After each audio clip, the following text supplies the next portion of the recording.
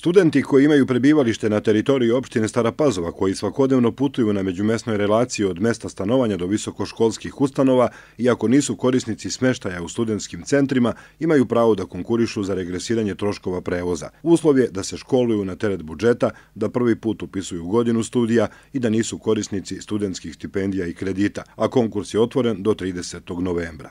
Na osnovu ugovora o regresiranju prevoza studenta iz budžeta autovne pokrene Vojvodine za 2015. godinu, zaključenim između Pokrajinskog sekretarijata za nauku i tehnološki razvoj i opštine Stara Pazova, opštinska uprava opštine Stara Pazova raspisala je konkurs za regresiranje troškova prevoza studenta u međumestnom saobraćaju za školsku 2015-2016. godinu. Uz prijavu na konkurs na pisarnici u zgradi opštine potrebno je priložiti uverenje o prebivalištu ili kopiju ulične karte sa upisanom adresom stanovanja potvrdu ustanove visokog obrazovanja da se škole na teret budžeta i da prvi put upisuje godinu studija u školskoj 2015-2016. godini, fotokopiju indeksa, prva i druga strana koja je upisan posljednji semestar i fotokopiju aktivne kartice tekućeg računa.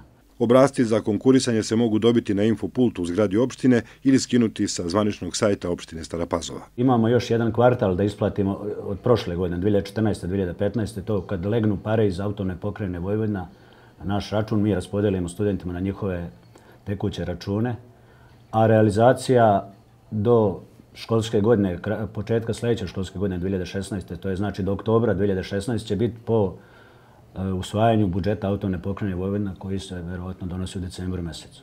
I onda ćemo od januara kvartalno, kako oni budu prebacivali nama pare iz autovne pokrajine, onda mi odmah prosledimo našim studentima.